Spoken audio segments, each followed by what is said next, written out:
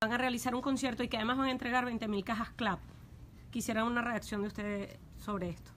Yo no sé qué artistas van a tener en ese concierto, pero si se quedan ahí, tenemos aún más todavía ayuda de parte de Estados Unidos y la comunidad mundial, perfecto. Entonces los reunir- vamos entonces a poder mandar toda esta ayuda humanitaria a ese concierto también. Senador, Senator, in a recent Meet the interview, los payasos.